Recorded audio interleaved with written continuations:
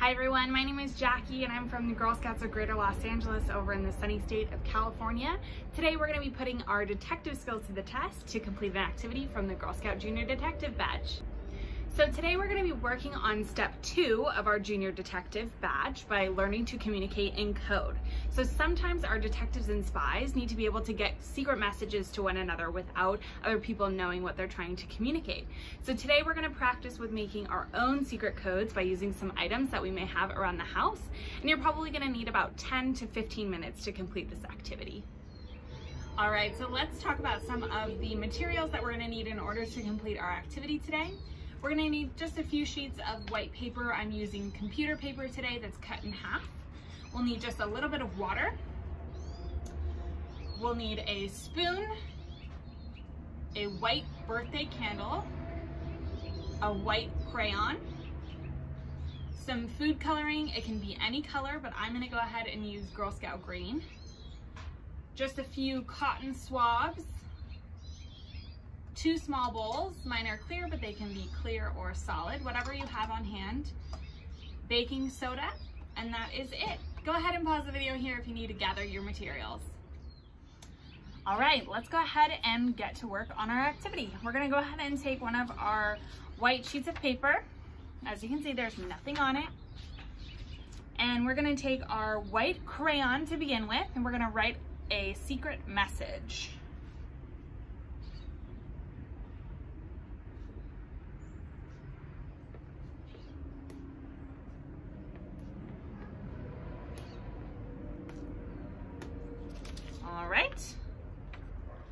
So as you can see, we can't quite see our secret message up against that white paper. Go ahead and set that off to the side. And take as much time as you need in order to write your secret message. I'm gonna take my second sheet of white paper. Again, there's nothing on it. And we're gonna take our white birthday candle this time and we're gonna write another secret message on that paper. Now it might be a little bit harder to hold that birthday candle, but just do your best.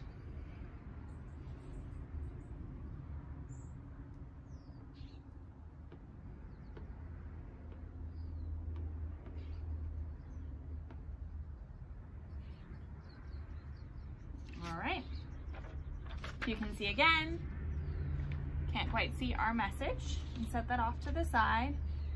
And now we're gonna take our third white piece of paper and we're gonna write another secret message on this one as well. But first we are going to create our mixture so that we can do that. So let's take one of our small bowls and you're gonna take just a little bit of the water and add it to that small bowl. You just need a little bit.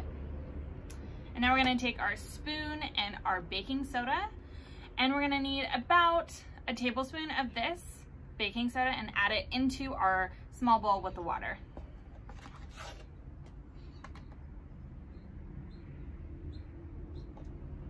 Go ahead and mix it up. Just wanna make sure that all of that baking soda dissolves into the water. All right, mine looks like this. And now we're gonna take one of our cotton swabs we're gonna use this mixture in order to write our secret message onto the white paper. So go ahead and take the cotton swab, dip it in. You can actually use that to stir it up a little bit if it's settled. And just make sure you get a good amount of that mixture on there and use it to write your secret message.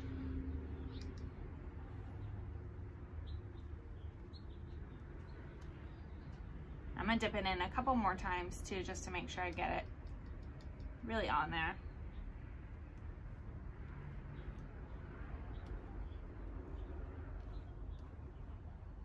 Okay, great. So this one, because we painted it with the water and the baking soda, it might come out that you can see it initially, but go ahead and just let it dry. We're gonna make sure that it dries completely. So you can either leave it out on your table or leave it outside to dry and then we'll come back and decode our secret messages.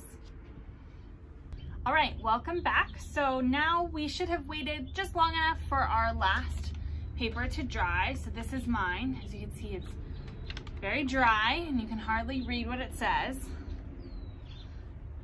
So now we're gonna go ahead and go through the process of decoding our secret messages. So let's go ahead and set some of these things off to the side. And what we're gonna need for that is our second small bowl. And we're gonna need that water. So go ahead and add just a little bit of that water back into um, another small bowl.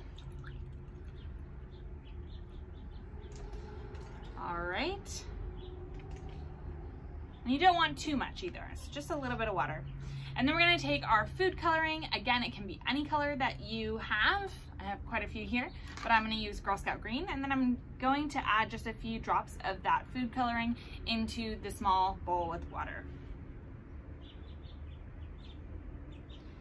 And get it nice and green. Okay, we'll mix it up with our spoon.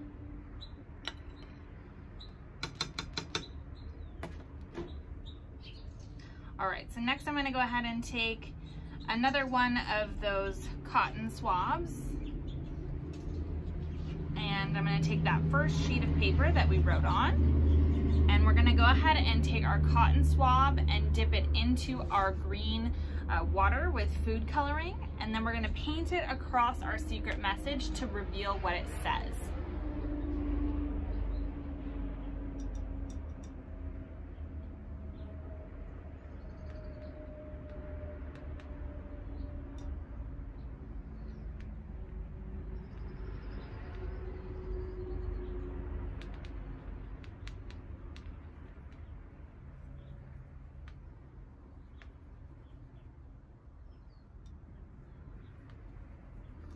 right, great. So mine came out pretty good. You can check out our secret message, detective. We're gonna go ahead and set that one off to the side.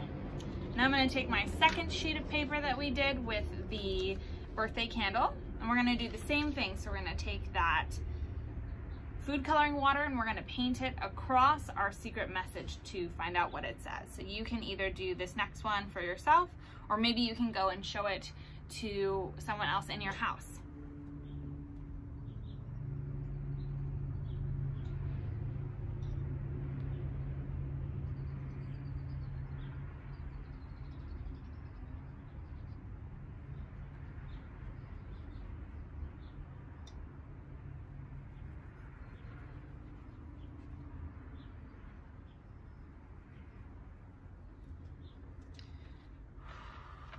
This one's a little bit lighter for me, but you can see it. This one says Junior, and it'll be easier to see too once it's all dry. And then I'm gonna take my third sheet of paper and we're gonna do the same one, same thing. So take another cotton swab, we'll dip it into the food coloring mixture and we'll paint it across the message and see what comes out. Oh, this one's coming out really good.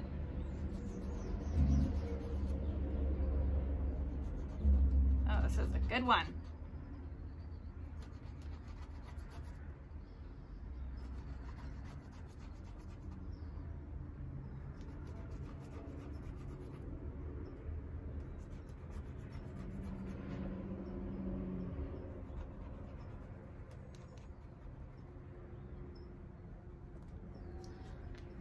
There we go.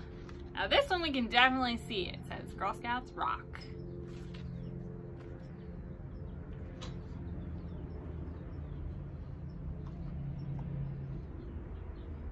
All right, so let's talk about our activity. Why weren't we able to see our invisible codes in the first place? So, items like crayons and our birthday candles are actually made up primarily of wax. And when we wrote our secret messages on the white paper, we were actually leaving behind small deposits of that wax. The same goes for our baking soda mixture. So when we were writing our message using our baking soda, we were leaving behind small deposits of that baking soda onto the white paper. But since all of those items were already white, we couldn't see it up against our white paper. So then, when we changed the background color of our white paper using green food coloring, were able to see what was left behind and deposited onto the paper in white. Great job, Girl Scouts! So once you've completed this activity, it's a good idea to ask yourself some important questions about what you just completed. What did you learn while completing this activity? And what went well or what didn't go well? How can you make some other secret codes that you can decode with other people in your home or even with your friends? Go ahead and use the comment section below to answer. If you and your Girl Scout enjoyed this activity, you might want to check out some of the other junior badge activities that we have here at Girl Scouts at Home. Your troop leader can help you find the rest of the steps for the Girl Scout Junior Detective Badge in the Volunteer Toolkit, or you can find them at girlscoutshop.com. If you've earned your badge, be sure to order it, and if you're not yet a Girl Scout, you can find out more information at girlscouts.org. Thanks. See you next time.